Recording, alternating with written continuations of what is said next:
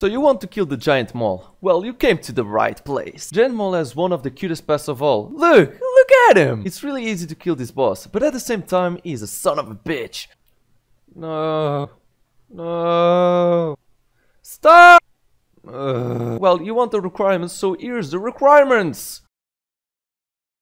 The way to get the boss is tally to Fally and then go to the Fally Park and use your spade in these holes. Pretty easy. And you also have a bank right next to it. And also, if you do the quest Making Friends with My Arm, you'll get an extra slot by lighting this fire pit. Because you won't need a light uh, thing.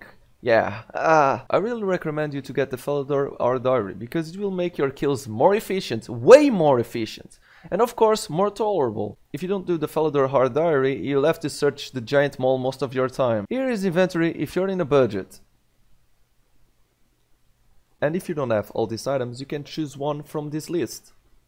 And here's the inventory and gear if you're a Dharok little man. So in this method you'll be using the locator orb to drain down your HP. So less HP, more damage you can do to, to the giant mole. Never stop praying to melee because if you stop you'll die instantly because you'll only have 1 HP.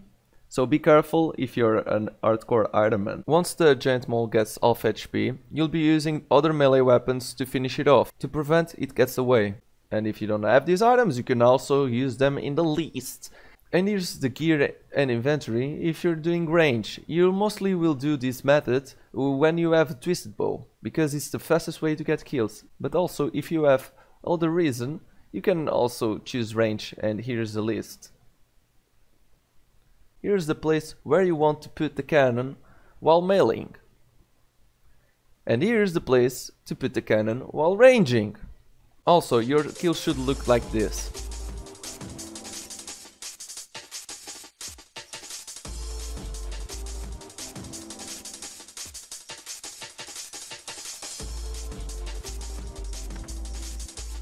nice! This boss doesn't give the best loot, but it's a great option if you're starting PVM like a man. Hope you guys like this guide and I'll see you in the next video. Love ya!